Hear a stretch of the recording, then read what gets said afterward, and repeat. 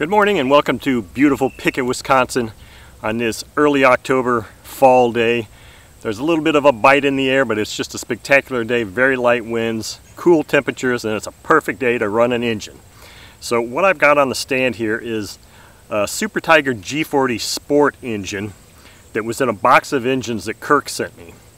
This is the second time I will have been running this engine. The first one was just a garage run just for proof of life but it didn't come with the stock Super Tigre exhaust so I took the exhaust off uh, the engine, the Webra 61, Speed 61 engine that I had. It just so happened to be a clamp on and it fit and it works fairly decent. In fact, it has really cool sound. The only drawback to this carb is, or this uh, exhaust, is that if I have to make any kind of carburetor low speed adjustments, I'm going to have to stop the engine to do it because there's just no way that I have a sight line for that low speed adjustment screw.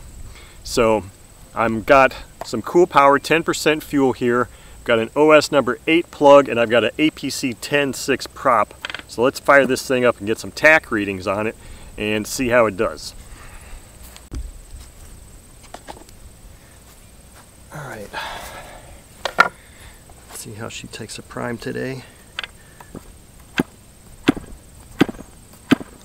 Very well, very well. I don't know if it's going to hand start or not, but we can give it a shot. Okay, that's enough of a shot.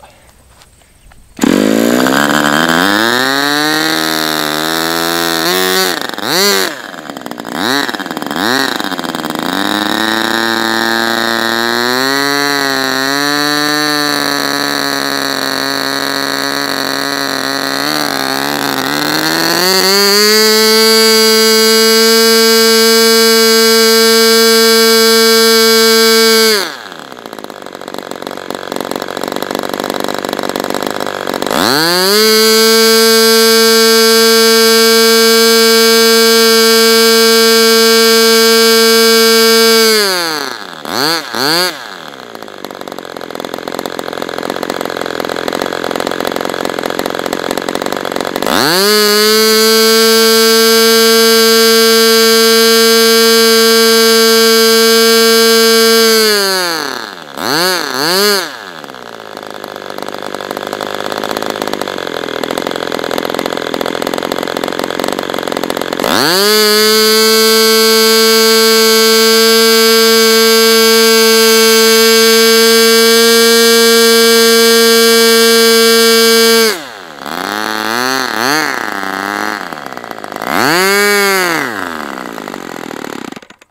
That's impressive. So you may say, why are you making such a short video?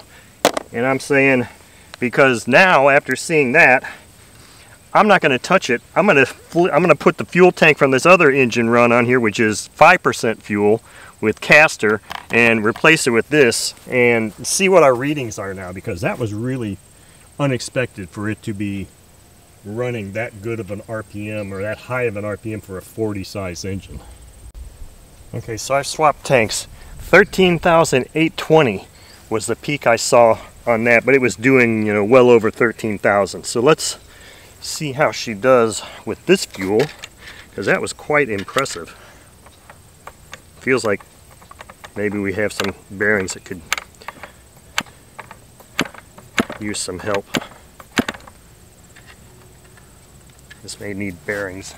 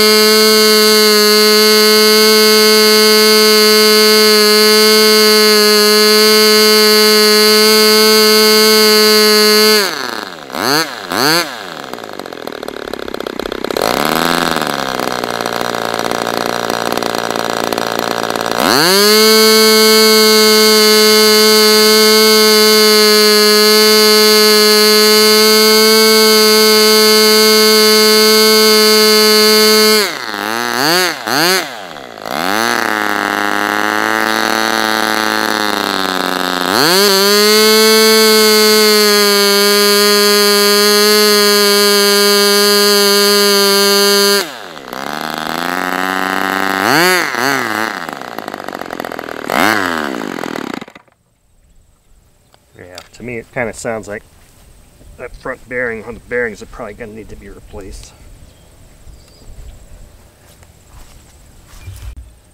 Just for giggles, I put the um, cool power tank back on here again just to see if we can reproduce those same readings that were around 13,600, 700, something like that or if this engine was just kind of a it was a fluke. Man these front bearings feel kind of yeah I don't know now. This may really need some bearings.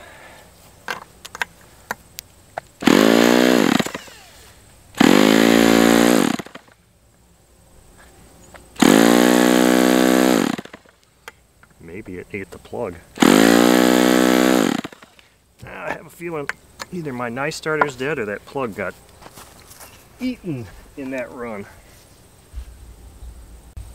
Okay, yeah, so that plug was done. And for the record, that was the Chinese counterfeit plug. This is a, a brand new Fox RC short plug.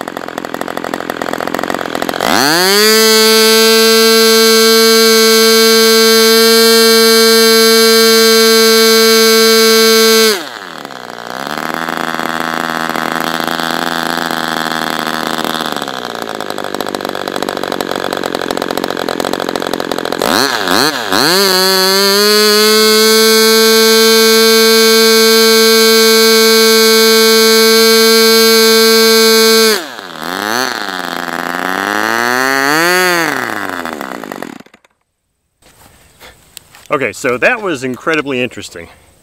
So the first segment, first run with this setup, not that plug, that Chinese OS number 8 plug, that only had about five runs total on it before that, if even.